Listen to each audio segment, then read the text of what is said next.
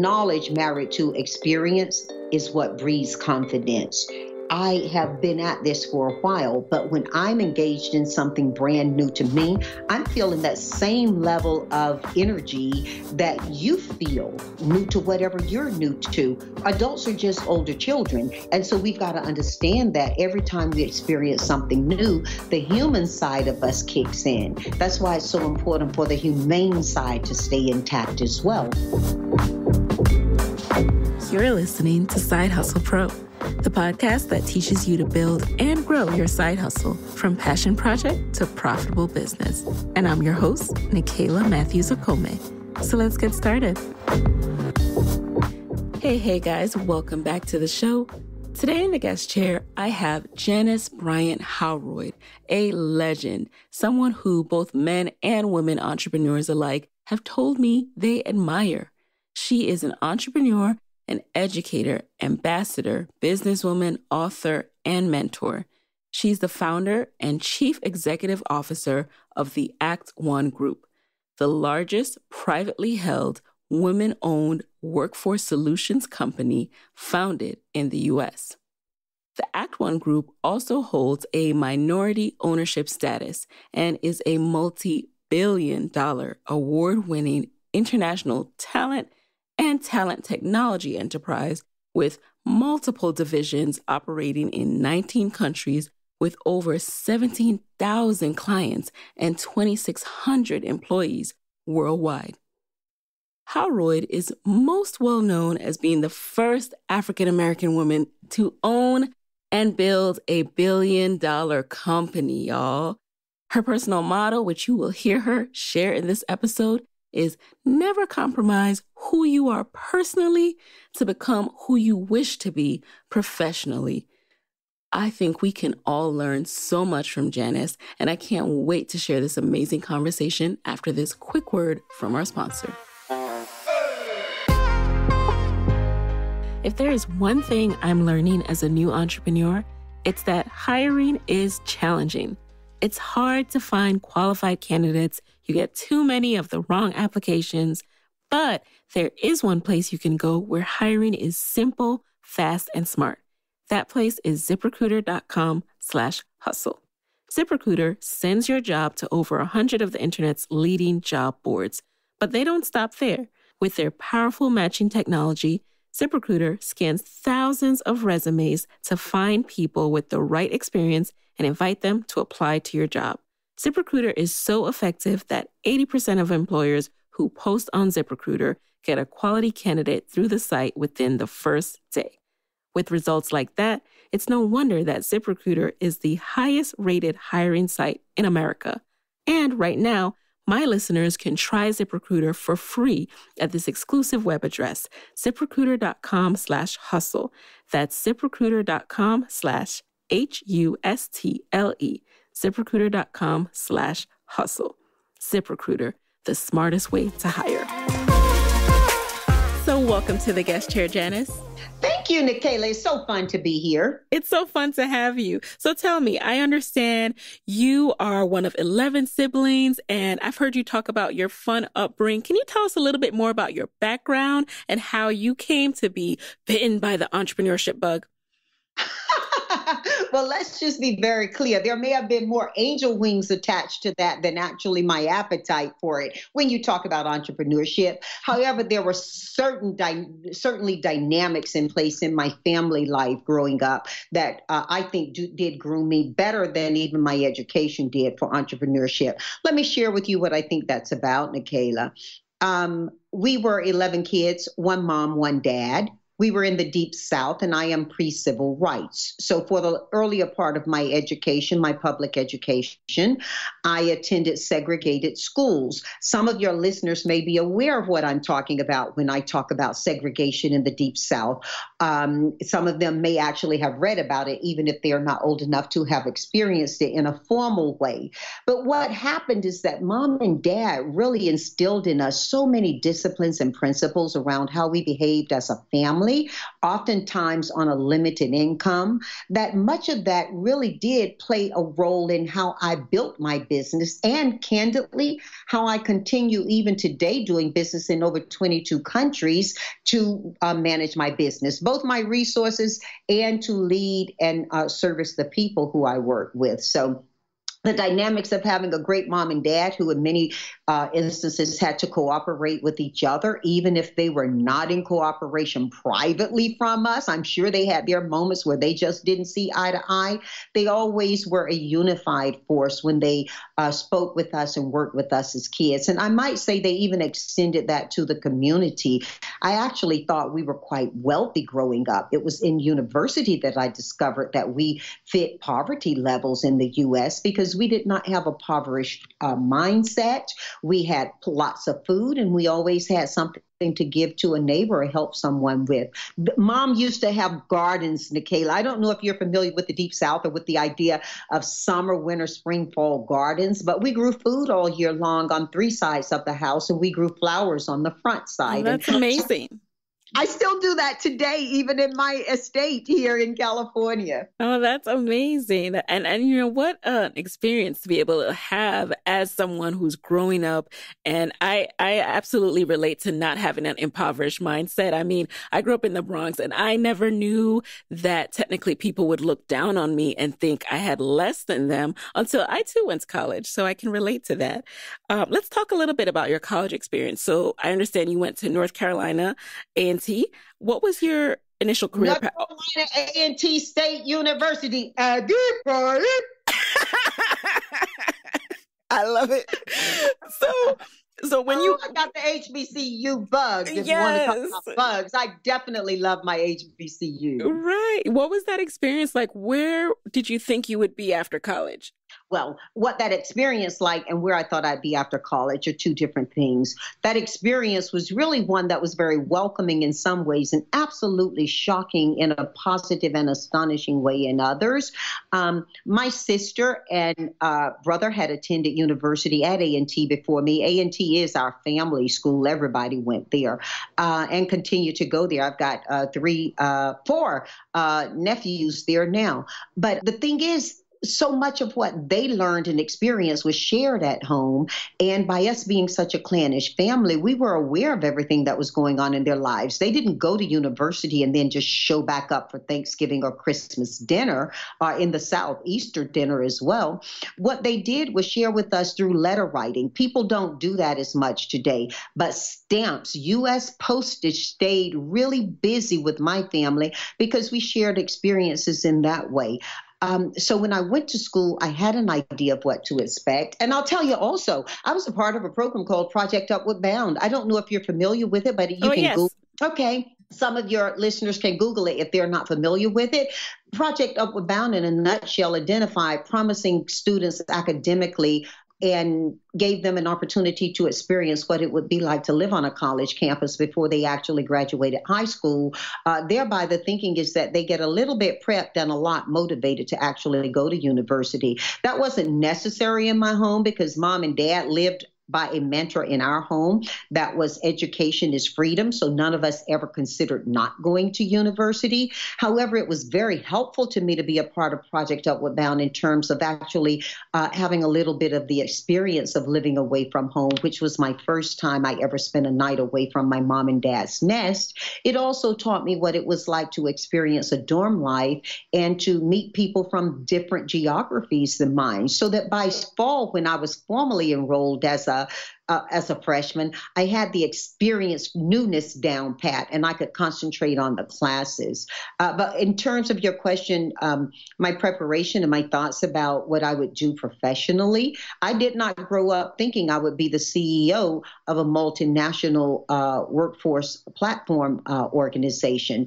I didn't know anything about work other than teachers, preachers, and maids in my community, and then ad hoc jobs. And so when you think about what I'm doing today, it's really quite a blessing. Yes, a lot of effort have gone into it, but as I said to you earlier, a lot of angel wings have really, you know, been underneath my journey as well. Amen. Yes, I completely, you know, relate and definitely have a spiritual grounding. Now, when you graduated, you moved to Los Angeles, correct? What inspired that decision and, you know, how did ActOne Group come about? Actually, I came to California on a vacation. Remember, I told you we're a clannish family, right? So, with 11 kids, the older one would always have a younger one who they kind of took care of and nurtured. They were responsible to make sure homework was done, chores accomplished, and that we were basically living the life of discipline and uh, and and learning. And mom ran her, her her home that way. And so I was Sandy's baby. Sandy was the eldest sibling.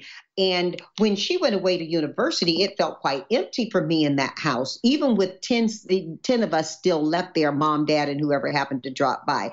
But she had moved to California during the uh, finishing of my education. And so I planned to come out to visit her. My dad, our dad, passed away in a boating accident on the eastern shore. And so I said, Mom, I'll stay with you, help you adjust. And we thought that was the plan for a little bit. And then after a couple of weeks, Mom stayed in bed for a couple of weeks over dad's passing because we didn't find him for a long time, you know, in, an, in, in a storm. We never really reclaim dad fully. And so that was traumatic for our family and our community. But mom told me after a couple of weeks, go ahead, take the vacation you intended. If I need you, I'll call you back. But I've got to learn to live on my own at some point. Let me give it a shot now and not get accustomed to having you here. And so I came out to California somewhat poignantly and completing a, the plan for a vacation my sister and I had made earlier. And I'm still on that vacation. wow, I never knew that. And and this is from someone who has been stalking your life, studying you from the past several weeks. so you go to California on this vacation that never ends. Now, when did the ActOne group start to formulate? Well, in 1978, I opened doors and I opened doors as a full time placement company. Back then, we used to call it permanent placement, Nicaila, but you know, nothing's permanent. And I don't even know that it's legal to refer to employment as permanent if it's not intended as permanent these days. But back then, I, I was placing people in full time jobs. And the iteration to doing temporary work happened for me because we were doing such a great job at full time placement that a client asked us to assist them. And I took the same principles of full time placement into temporary placement. Now, that means in a short form that we, when making full time placements back in the day, and today we still continue to offer 550 in AppleOne, which is basically if you hire someone through our organization and they change their employment with or without you in any form within five years, that we replace them for 50 percent of the fee. So you can see handily it was not worth it to me not to make great placements, to make sure in my instance, I was pleasing the applicant. A lot of companies focused on pleasing the employer. And so they take the jelly beans to the employer. But we gave the gems to the applicant with the thinking that if we have people who are happy in their work and happy applicants, then they're going to perform so well for the clients they come back to us. And that continues to work to this day we say the applicant is the center of our universe. And so when we're working with these uh, companies, when I was working with these companies, I built quite a reputation for delivering really strong candidates. And they asked if I wanted to try temporary. I was not aware that the temporary market by, I won't call the names of competitors back then, but a lot of them are multinational companies and they basically just found bodies and put them in jobs. And I was using my same formula for finding full time placement in temporary. And I think that's how we built up such a great reputation across the spectrum. Today, we've expanded those services not only across countries, but also across disciplines. I have background check through America. I have AgileOne, which is our workforce solutions group. Uh, we implement technology, so uh, we implement hiring solutions, we implement uh, process and programs for companies that are all centered around making sure they fulfill in a total talent community. And you'll hear a lot about total talent communities as you continue to understand my industry. It's just an industry that I really feel blessed to be in because, as you and I both shared earlier, we did not come from high income areas. So you can do the math and understand that we didn't have a lot of role models around a lot of professional jobs, but I did have strong role models around how to live professionally on a personal level. And I think adding that to just what I told you is dynamically why we're doing the things we're doing today. Yes. And speaking of that finance piece and the income piece, you know, I've been speaking with a lot of entrepreneurs and guests on the show recently about this idea that entrepreneurs, Black women entrepreneurs, they don't always have that family and friend round of, of fundraising where you can ask your family for 10,000, for 5,000 and slowly just start to build up a, a substantial amount to launch your company. But what really impressed me about your story is you were able to borrow 900 from your mom, which was, I know was not a small amount at the time and pair it with what you had and start the business you were able to turn what was that 1500 into now a billion dollar company. Can you talk a little bit about the focus, the financial focus you had to have at that time to grow and scale your company?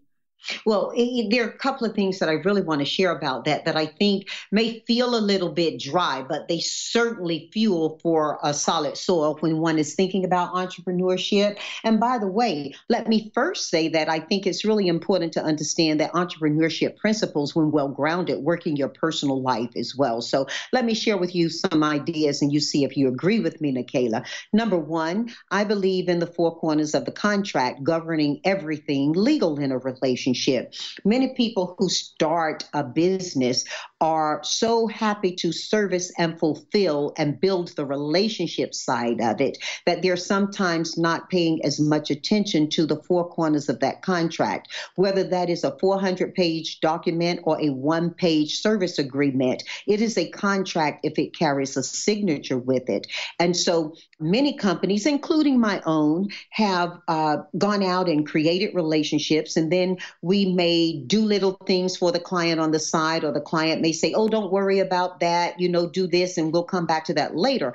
And then if disruption occurs in that relationship in a negative way, that contract governs everything in the in the court of law. And it can be very expensive to step outside of a contract. So no matter where your business is, at whatever level of funding you have or don't have, understand if it's a real business and it's doing business through contract, then you've got to honor those four corners. You've got to make sure everything that deviates from what's inside of there is a, included as an amendment or redrawn. The other thing to understand, and that costs people a lot of money, I think, even before we get to the fundamentals of the math, is that uh, companies do big companies con- you contract with companies you do business with people. So when you write a contract with an organization you're writing a contract with a legal entity people are going to change in that organization, especially if you service or provide for a length of time. However, on a day to day, you're doing business with people. Never was this more evident for me than when I decided to globalize my business. Now, many people talk about globalization. I believe that companies are born global today. The advantage of internet and the sharing of information allows a small little company in Podunk, America to have a first customer in India or Thailand or anywhere one can imagine where there's internet accessibility. And by the way, that's in product and service, which goes back to making sure you understand the contract because different rules and regulations apply not only in different countries, but even even in different areas of the U.S. That can get very expensive. Most companies don't go out of business because they can't find somebody to loan them money, although many don't go into business for that reason.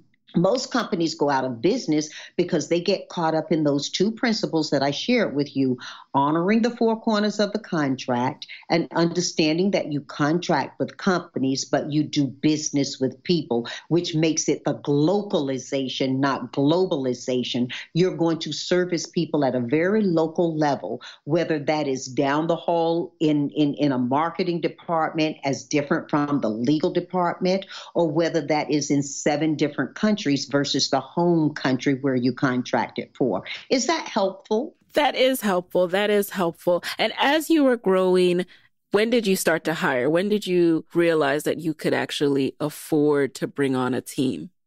Well, I had a team before I could afford to bring one on because, you know, I mentioned those siblings who I'm very oh, clannish.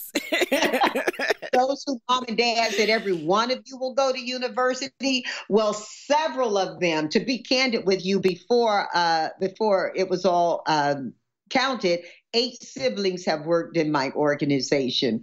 And uh, the very first was a sister I came to visit who was so helpful in giving me visibility not only to new client opportunities, but teaching me how to actually set up an office and protocols within an office. From the day I opened my business, I functioned in many of the same ways as I do today because of what Sandy was able to teach me.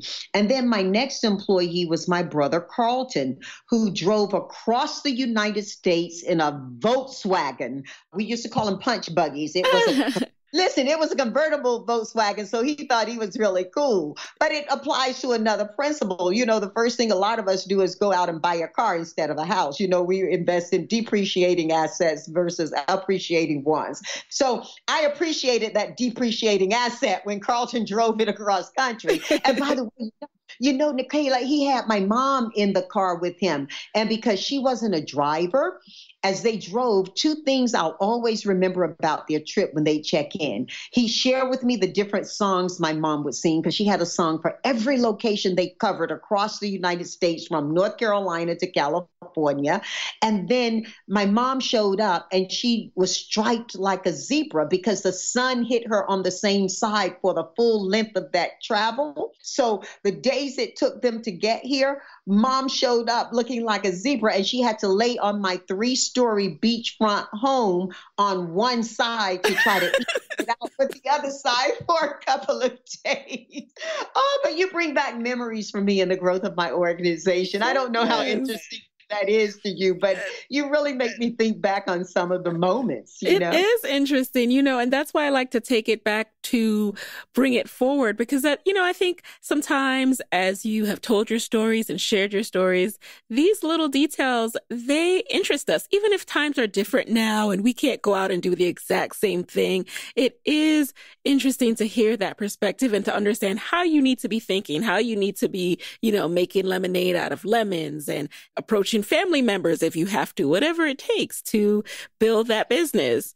You, you know, uh, just a few days ago, I delivered a keynote to North Carolina Executive uh, Roundtable. Wonderful group of people, professionals, see, uh, uh, very corporate level people, and um, I was sharing with them ideas on, um, you know, how to be a millennial, right? How to think like one, how to act like one, and how to appreciate, importantly, one. And one of the things that I shared with them is that millennials value very high up in the food chain corporation's ability and engagement to team building.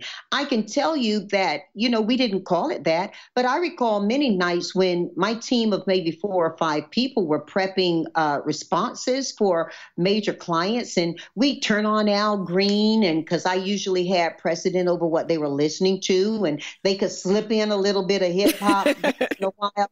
Uh, but we'd have Al Green blasting through the third, the second floor of our building, and we'd be uh, eating. I had a kitchen stove in my corporate office. I had some clients who had heard me talk about uh, fried chicken. My my my brother said she makes the best fried chicken you ever had, and they all they wanted was fried chicken when they came. They wanted fried chicken, and so I bought a stove and had it hooked up, gassed wow. up, and I fried chicken for that client. Now we won that account, and we still do business with that company more than you know uh, twenty years later. But the point I'm making is that we were always engaged in team building. It wasn't formalized and we didn't call it as such. So when you talk about hearing how things were back then, you know, if you if you think about it, team building has been important. It's not a new millennial thing. I tell everybody, people have been transferring from 18 to 35 for years. So yes. millennialism isn't new. You know, we gave it a name because we made them that way. Hey guys, it's Nicaila with a quick word from our sponsor. Okay. I have a side hustle hack for all to hear, and it's called Skillshare. You want to know how I grow as a businesswoman? I keep learning. There's not a week that goes by that I'm not checking out a refresher class or a deep dive tutorial, and my go to is Skillshare. Skillshare is an online learning platform with over 18,000 classes in business, marketing, entrepreneurship, you name it. So, whether you're trying to start a side hustle or scale your business, Skillshare is there to keep you learning and thriving. In the last month alone, I've learned how to set up my email capture landing page on Squarespace and how to boost my email marketing using MailChimp, all through Skillshare. And now, Skillshare has a special offer just for my listeners. Get two months of Skillshare for just 99 cents. That's right, just 99 cents. To sign up, go to Skillshare.com slash hustle pro. Again, go to Skillshare.com slash hustle pro to start your two months now. Something else that I've been talking about recently with guests and other entrepreneurs is this idea of finding the right client. Not everyone is your ideal client. And so for someone like yourself who started an employment agency, it seems like the world would be your oyster. Like you would just have so many companies to approach. When did you narrow that down or how did you really zero in on what industries you wanted to work with, who was your ideal client so that you would continue to match employers with happy employees and vice versa.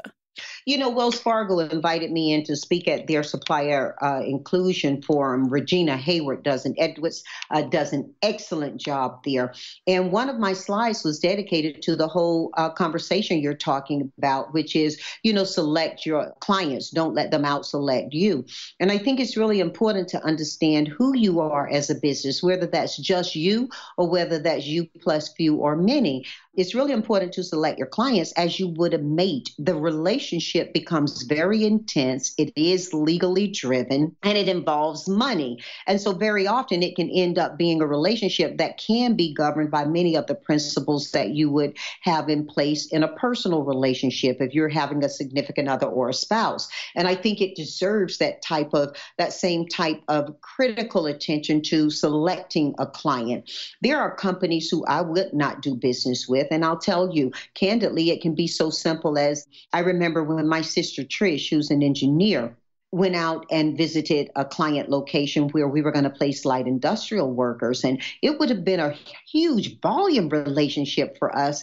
Uh, but Nicaila Trish came back and she said, You know, before I share my report with you, let me just tell you what's in here because I was in a rush and I remember the day as if it were yesterday. And um, she wanted to share. She said, Well, let me just tell you before I share it with you.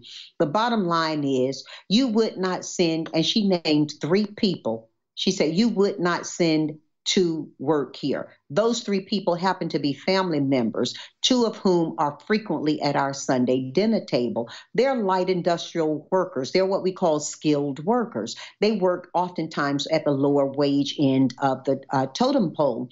And she said, So you make the decision on whether you want to fulfill, if you really want to accept this contract. But because the company was willing to pay a little extra, understanding the risk around workers' compensation there, she said, There's a reason why that risk is so high. And it's not the potential of damage, it's the behavior that occurs there. It's the protocols in place to ensure that people are working safely. She'd had a physical visit as an engineer who has a huge understanding and creden- and is credentialed around risk aversion. And so when she told me I wouldn't send, you know, two of my own family members there and one close friend, it kind of nailed it for me that that wasn't the client for me. There are always signals of buying, of, that people talk about buying signals, but I think there are signals why not to do business as well. And I don't care where you are or how hungry you are for business. I encourage my sisters, please don't do business with companies who you would not be proud to tell God was your best client. You got to be able to identify those alarm signals as well as those buying signals. Wow. So, did it become a thing of it becoming more word of mouth that clients were attracted to you, or were there specific things that you did to market the company? It continues to be that actually. We call it womb, word of mouth, baby, okay? um, yeah. Uh, most of our relationships were built from the womb. You know, they grew from the womb. Um, and, and, and, and I think that continues to be the best way. I mean, even in our industry, we still have that. We have it technologically supported when you see things like Yelp or you see other different ways that people are grading the value. You can see different hand signs or different stars when you go into different places that you're shopping. But there are always ways that people are going to be glass door. You know, there are always ways that people are going to refer you to things. Go on any shopping site today and you can't get out of there without seeing a thumb up or a thumb down or a star or some indicator of, you know, what people think about it. And so I think that, you know, for me, it, before technology offered that, it was people who were offering that for me. But it continues to be, in my estimation, one of the best signals that you've got a great business. I mean, you let a sister you really like or you really admire say something or Instagram or, or snap something that she's enjoying, and you're more likely to go buy that than you are by a client telling you through a legacy type advertising about that product. Am I right? Absolutely. Absolutely. Instagram is my biggest marketing tool. It's where I just went through, I was shopping for vacation and all I did was bookmark, you know, things that I saw on other people and then go to the shop website. I didn't start at the website. Exactly, exactly. And I think, you know, it allows so many, when you talk about entrepreneurship and you talk about finances, it allows so many women to be able to start businesses, understanding that some of their own personal behavioral habits can turn into business practices that work well for them. Think about all the businesses that have grown from the website or grown on the internet. I said this publicly recently that my son has a friend who started. Um, uh, a business and he built his website. His business is on uh, focused on autism, and his first he built the business in California, and his first client was in India. Wow. You know, so, so so I just think there's so there's never been a better time to start a business to be in business, but it's always the right time to be smart about it. I advise people another financial tip on the backside. If you're interested in starting a business, before you put all of your financial resources in it, go use someone else's financial resources. Go to work in a company that does what you think you want to do or has an element strong enough of that that you can learn from it. See where your own ability to sustain from it is. And, you know, look at how you're treated as an employee and reverse that as a lesson for how how you will behave as an employer. I've seen a lot of people feel that folks ought to just get in there with them and enjoy their grind or appreciate their grind and boy, I'm on my hustle but they're not really respecting that your grind is not their grind. Your grind may simply be a job for them that they're hired underneath it to perform. And unless you're really articulating in a real value driven way to them, a reason to be invested emotionally as you are, then you've got to respect them that it's another day job for them and they may have their own hustle somewhere else. Amen. That's something I think about a lot. You know, I have been the disgruntled employee at many a job, but I'm like, oh crap, you know, now I'm in the driver's seat. How do I make sure that others don't have that feeling that I once had? Yeah, and and and, and appreciate that people work for different reasons. There are a lot of people who take a lot of jobs on the way to a great career, you know? Um, and so you've got to appreciate where they are in it.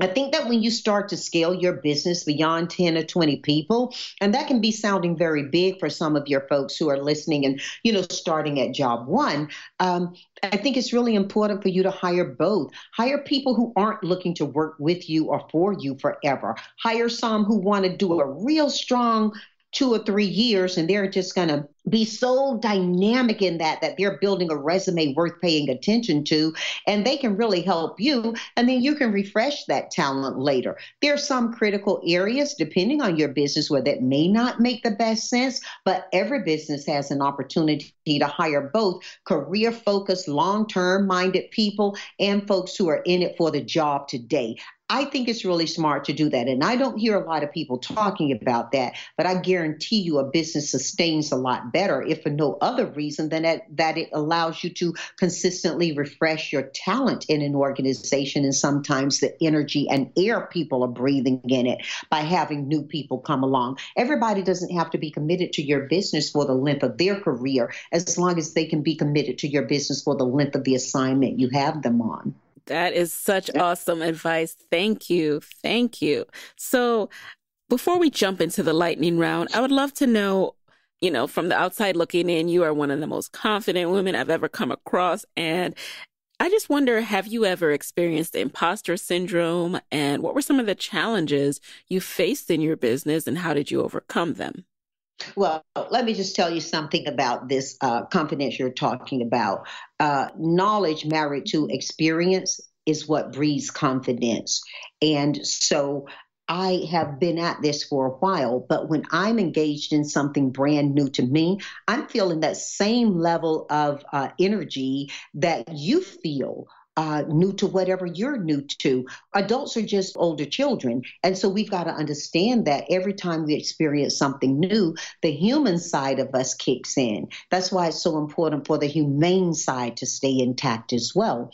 Uh, in terms of me being confident, I have gained a lot more confidence today about many things than I did when I started my business in 1978. But I still feel that same level of enthusiasm and energy that anyone would feel. If you talk to entertainers, they tell you the day that they don't feel that level of anxiety before they walk out onto a stage or in front of a camera, they've lost their juice. And so I would pray that all of the women who are listening keep their juice keep it sweet keep it you know moving and keep an element of that energy going.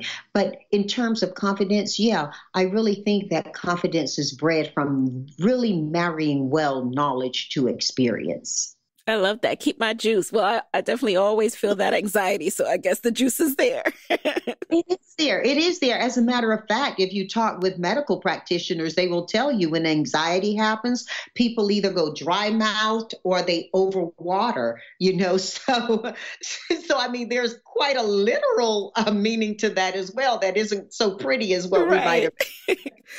and that's what happens in life, isn't it? When we don't get it in handle and we don't do the things we need to do. Because you know anxiety is really nature kicking in and telling you you need to set some things right and right. or you need, and sometimes that's just your attitude. It's not really anything lacking in you. So speaking of that juice now what is next for ActOne Group? This is your 40th year right in the business. Uh, my business is older than I am for sure. Uh, so, And we are very, very excited about this double millennial business. Okay, we're like millennial double, right? Uh, but but but I'm so excited because we are expanding so beautifully in the markets and industries that we want. Uh, we're very on track for the growth plan we have, and on a personal level, I'm just feeling so much enthusiasm because having that combination I shared with you, Nicaila, of well tenured employees with new, fresh talent that comes into the organization, I'm in a great position to pay attention to some of the other things I enjoy doing as a professional So you're seeing me out there talking on a lot more campuses and in organizations I care about, organizations like WBENC and NMSDC, WPO. These are all organizations that I pray your listeners are engaged in. And just to make sure they understand, WBENC is a women business enterprise network, and Pam does an awesome job leading that. And then WPO is Women Presidents and Owners. Marsha Firestone heads that. Um, out of uh, New York, but she but it's a global entity and affiliate of WBENC. We've got WeConnect. I'm going to be speaking in Canada coming up soon for WeConnect, and we're going to be streaming. So I hope you'll let your listeners know about that, and we can come back and talk about that experience with you later. These are all organizations that help uh, women who are starting businesses, women who are growing businesses, and businesses such as mine. And they have formal programs that are very well tried and proven that assist. NMSDC, which is National Minority Supplier Development Council, uh, they do a fantastic job working with minority owned companies. And then NGLCC, which is National Gay and Lesbian Chamber of Commerce, is an actual chamber of commerce about the business of commerce for gay, lesbian, transgender, and queer uh, uh, folk. And so all of these organizations I've mentioned offer financial guidance, resources to financial support. Uh, very often they will host um, events that allow companies to come in and talk about their business, not just around procurement, but around getting angel investors. And it's just a really wonderful, segregated toward immediate effort, but all integrated toward the whole outcome of building businesses for women and minorities. And I think I could not complete a conversation without talking about that with you. Well, thank you. You know, I will link to all of those in the show notes, every single one. So thank you for that list, that robust list. Now, what we're going to do is segue into the lightning round, which is just a series of five questions. You answer the first thing that comes to mind. It can be brief. You don't have to elaborate are you ready? Well, I'm as ready as I'm going to be. Number one, what is a resource that has helped you in your business that you can share with the Side Hustle Pro audience? The best resource that's helped me in my business is to do the work on going back and forgiving myself for being uh, female and black and brilliant at the same time. Interesting. Okay. Number two, what's been the best business book or podcast episode or live event that you've consumed this year? Well, Nicaila, aside from yours, right? We got to put yes. yours right up.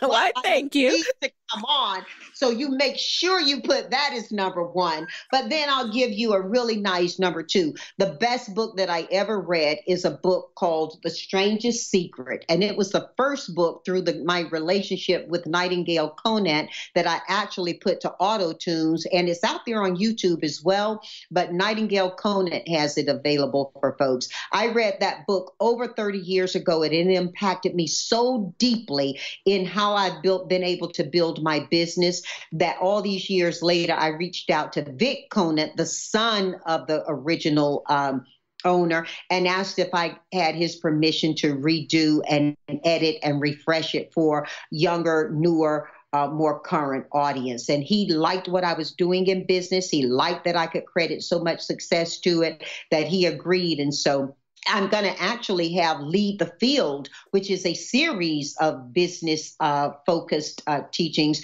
coming out as well. But right now, I've got As a Person Thinketh and The Strangest Secret that are Nightingale Conant products they allowed me to redo. And that's because those books were really important to how I built my business. May I also say they were important to how I built myself as an adult.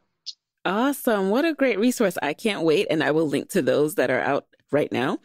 Okay, number three, who is a Black woman entrepreneur that you would want to trade places with for a day and why? Myself on my best day. Now, that's not an egotistical answer. That's the first thing that came to mind because very often I find that I, like many of your listeners, I'm sure, can default into some of those isms that kind of shy us away from being our best self.